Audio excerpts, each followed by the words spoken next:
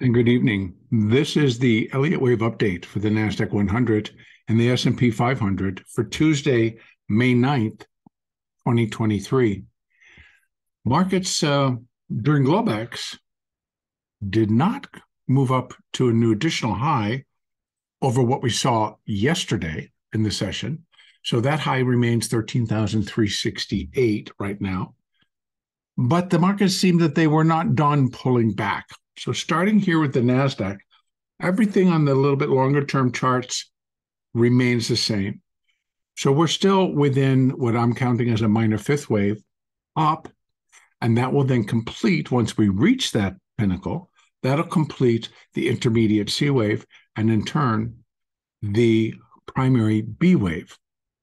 Now, the markets continue today to wait and trade in a very small range, back and forth and back and forth, and, and not having really any direction other than a general slope lower. But when we started this morning in, in our US session, the market had already been marking itself down. And with the lack of any numbers, we basically stayed within a very tight range uh, for the entire session.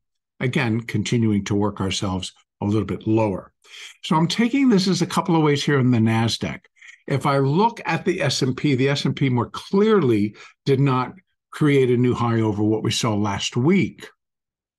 So, and that would have been on Friday. So what I'm looking at here, I'm feeling that we could still have that A, B, and then a C wave for again an additional irregular. So it wasn't all that great of an irregular over fr- uh, last Friday's high during our session, which was 13,358, 359. So we only got up to 68, so it's about 10 bucks. So it's not totally a bigger uh, irregular B wave, but nonetheless, it still made a slight new high. So we we would label it as irregular. And then, so we get the A, the B, one, two, three, four, five, if we're done. And you can see just the trouble the market had as we move it into here and we're taking a look at this. It just was a lot of noise, so to speak, and a lot of not moving very far very much. So, if indeed this then is our completion point, then we can use the same levels that we had yesterday. So, those same numbers on in terms of uh, comparing the minor fifth wave the minor first fifth wave to the minor fifth uh, wave, and then those numbers are going to remain the same. Where we might start to now pick up some differences is looking at the interior side of this, and we're looking at now this smaller minute wave one, and now we want to compare that and put in some numbers for minute wave 5. So those are the changes that I'm going to be adding today. And basically, we're just tracking movement now and still looking for that additional minute fifth wave up, which could be still substantial because don't forget that tomorrow 8:30 Eastern, 8:30 a.m. Eastern, we will get the latest CPI data and consumer price index. And that will be a market mover. So again, we have the two sides, one looking for continued improvement in inflation via the consumer price index, and the other side would that if if the Fed's going to continue to raise, if the Fed's going to stick to their plan, uh, basically uh, several additional interest rate hikes uh, until they can get control of inflation. Now, they continue to talk about, even though in those numbers, that they are seeing progress. A little bit of progress, a little bit of progress. So basically, what the market will continue to try to hinge on is is that a continuing trend right now? That inflation is slowly but surely beginning to come down. And it really depends on how you want to look at it, because there are many factors that kind of go into it. So, but in any case, we will i will be looking at that number just to see what the market's reaction is going to be and because they can react the way that they're going to react whether i agree with it or not so i would be anticipating that since they continue to feel that I think so much hinges because we're holding prices higher, there's so much hinges on what's going to keep this rally alive. They're not too interested in really beginning to knock down the markets. So, not much that I can really say other than to continue to look for, because the Elliott's telling us, continue to look for uh, one more leg up to complete minor wave five. Now, ultimately, that remains the same and that here in the NASDAQ, and just a quick trip out to the four hour, we have wave C has already exceeded the high of wave A, intermediate wave A. And so that's been taken care of. What we need to do is get above 13,368, 370, which is where minor wave three topped out. So within this minor five, that's what we're looking for. So how are we going to get there? So if we're taking a look at, at the NASDAQ and we're taking a look at, let me go back down to the hourly chart, we're taking a look at minor wave five. Now, so the numbers that remain the same is that minor five equals minor one. So we have the equality at 13,383.75. Well, we've not reached that yet. So that's going to be a level.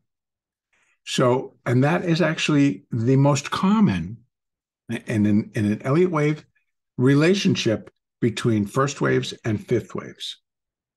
Then we have the second, which would be that minor wave five is 1.618 times the distance of minor wave one. That one remains at 13,620. So the changes that I've made is that using here the minute wave one to minute wave five. So again, still sticking with the relationships of fifth waves to first waves. So if minute wave five is equal to minute wave one, that comes out at 13,382. So basically, right that same area where minor wave five would equal minor wave one, same area. So now we get another level that's pointing us right to there. So we still may not see 13,400. This is just how it's lining up. But here's the other side. If minute wave 5 were to come in at 1.618 times the length of minute wave 1, that level is 13,464. So there we have that 13,400 and then some. And not under not knowing exactly where this is going to start from. Is the market going to continue to move lower or is it going to rally a little bit as we move in, into Globex and the Asian markets open and then the European markets open? Are they going to start from a different level? So again, not knowing that level, I'm basically was running them from uh, this low at 13,250 is the number I actually used. So giving the benefit of the doubt that the market will not really go below what we've already seen, which again is 13,250. And that's the number I use to get my minute five uh, levels. So again, where if minute five equals minute one, that's 13,382. That lines up perfectly with minor wave five equaling minor wave one. So the two equality levels pretty much match each other. So secondary, if, if minute wave five is 1.618 times the length of minute one, as 13,464. So that's where I'm going to leave it right now. Again, tomorrow, we should get a little bit more information because the CPI number comes out. And then again on Thursday, the PPI number comes out. And today, starting at 4 p.m. Eastern, from my understanding, I'm not really 100% certain on the timing of this. We get all of the, uh, both the Republican, the House, Speaker of the House, the minority leader of the House, and the minority leader of the Senate and the Senate leader are all meeting with President Biden and they're going to try to work out all of this deal. We'll see what happens. So the market, as Globex begins in approximately an hour, so we'll be an hour in or two hours in. If news comes out, we undoubtedly should get a reaction. And I'm sure that there will be a line, several lines, a crowd of reporters who are going to want to know some information of how this meeting went, since so much is weighted on it. So we're going to be looking for additional information. We know we're going to get some from the CPI. Let's see what, if anything, comes out from this initial meeting or this beginning of negotiations um, between the House, the Senate, and the President. So, moving average wise, we did, you know, see the 50, as is all basis the hour, the 50 to kind of turn and now is flat. The 20, the 4, the 8, all kind of following the market lower today. The 200s, the SMA continuing to point higher, the EMA already beginning to crest and go flat. Didn't take much. A solid day of basically a move moving lower and we flatten our 50s and the 200 over in the s&p it is the same other than it's pretty clear here because we didn't break that high that we get an A, B, and then probably a C down to here and then a bounce back up. Again, this is kind of confusing, but an A, A, B, C, and then, you know, again, what it all is, I'm not sure, but I'm going to count it all as a part of the corrective phase in this small wave four. So still looking for minute wave five to begin. We did hone in and get closer to that 4128 level.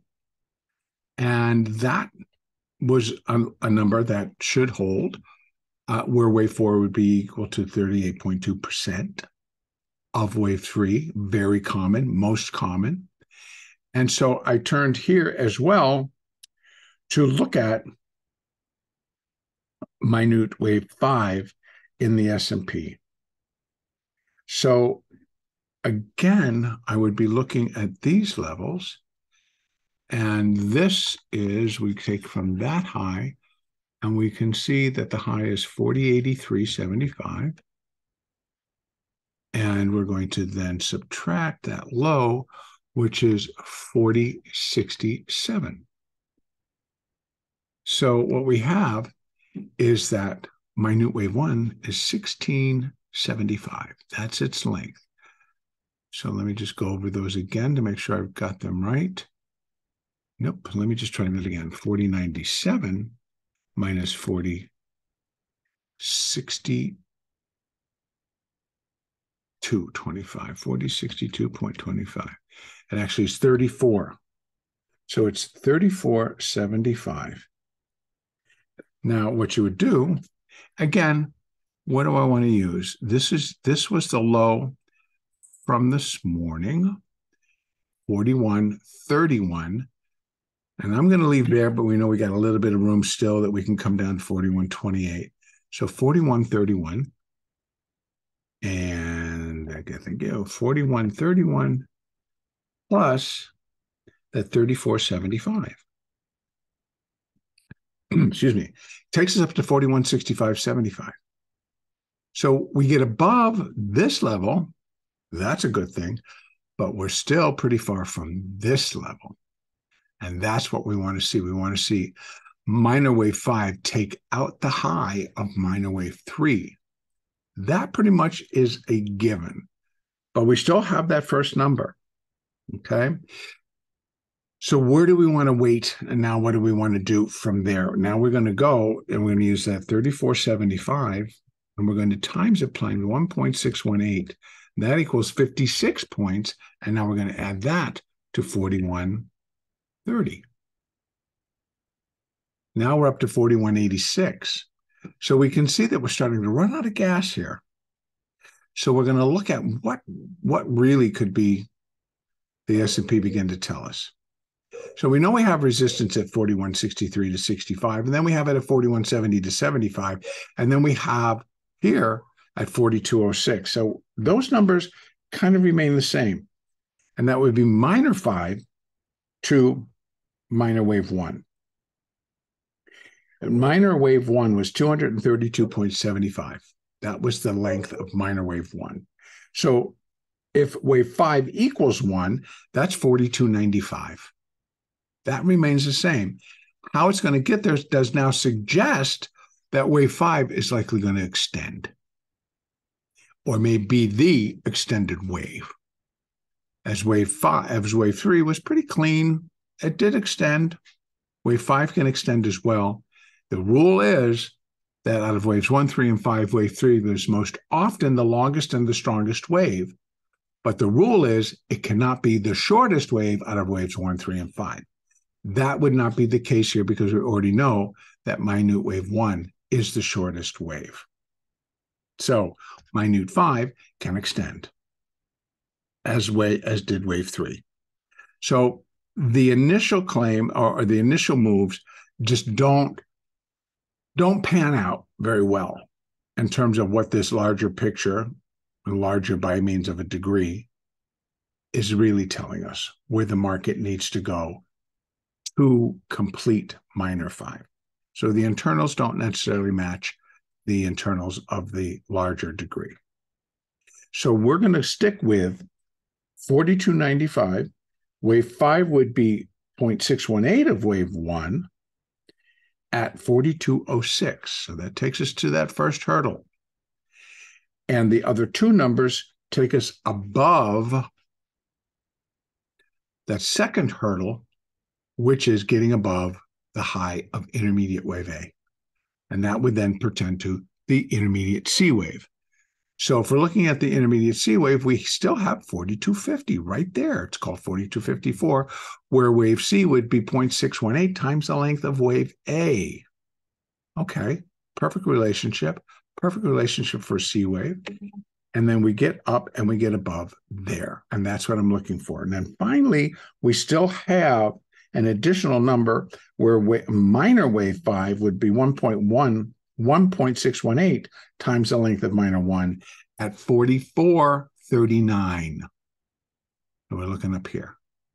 All are realistic against the numbers that we're waiting on, against any type of a positive outcome to these discussions that we're having at the government level.